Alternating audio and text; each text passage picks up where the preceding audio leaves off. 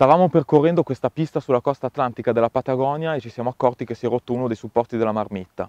Il primo paese è abbastanza distante da qui, quindi vogliamo fare una riparazione temporanea. Venite con noi, faremo vedere come fare una saldatura d'emergenza in modo tale da evitare che il danno si aggravi lungo la strada.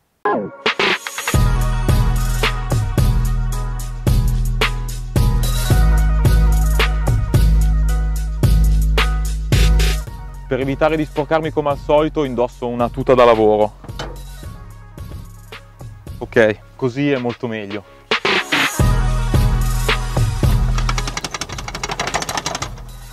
Ecco il nostro danno, ora abbiamo questo supporto che dobbiamo rinforzare con una piccola saldatura per evitare che si rompa definitivamente.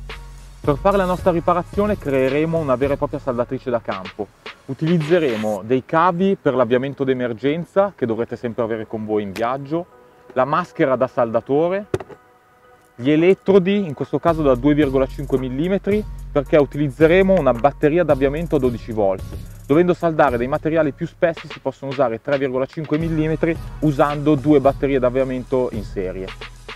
Vi ricordo che questo video è in collaborazione con il sito manomano.it. Si tratta di un portale con oltre 300.000 referenze, tutte dedicate al fai da te e al giardinaggio. Per noi è diventato un vero e proprio riferimento perché tramite questo portale abbiamo potuto trovare molti materiali che ci sono stati utili durante questo viaggio. Troverete tutti i link nella descrizione di questo video. Ok, iniziamo il lavoro collegando il polo negativo e il polo positivo della nostra batteria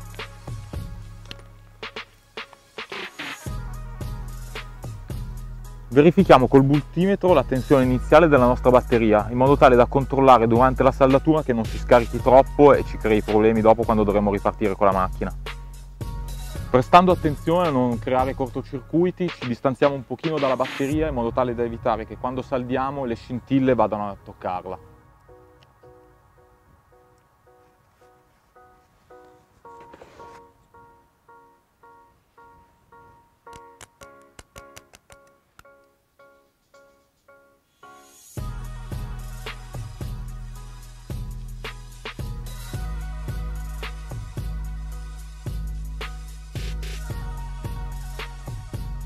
Mentre facciamo la saldatura e facciamo riposare la batteria, controlliamo il voltaggio per verificare che non scenda mai sotto i 12 volt.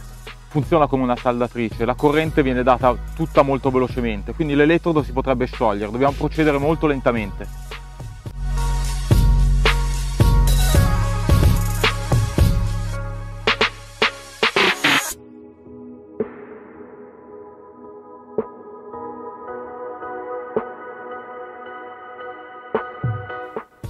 Si tratta di una saldatura d'emergenza ben riuscita che ci servirà sicuramente da qui fino al paese. Dopodiché cercheremo di sistemare il problema in modo più definitivo. Abbiamo visto come pochi semplici strumenti possono tirarci fuori dai problemi, ora noi siamo pronti per partire, speriamo che questo video vi sia piaciuto, ci vediamo alla prossima. Ciao a tutti!